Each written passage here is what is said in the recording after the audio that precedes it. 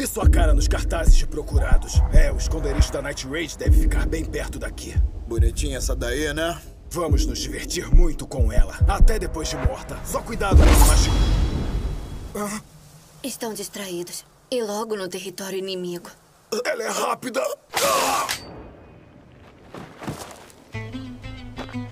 Um corte, uma morte.